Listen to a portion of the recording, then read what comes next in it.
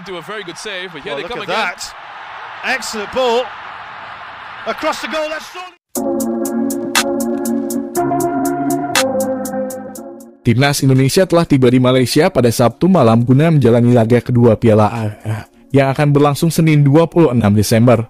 Sehari setelah mengalahkan Kamboja dalam laga pertama di Stadion Utama Gelora Bung Karno, Timnas Indonesia langsung berangkat menuju Malaysia.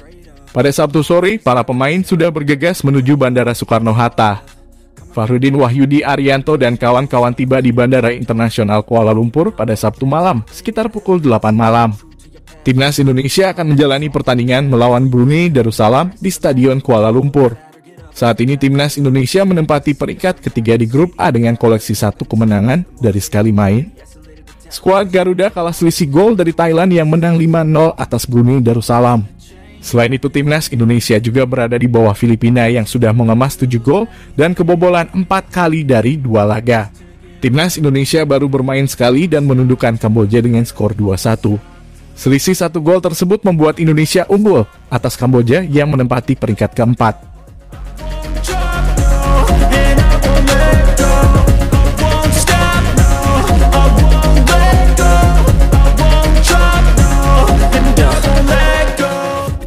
Pastikan kalian tetap stay tune terus di YouTube channel Gila Bola. Dan jangan lupa juga klik like, subscribe, serta aktifkan notification-nya biar kalian gak ketinggalan update berita terbaru dari Gila Bola.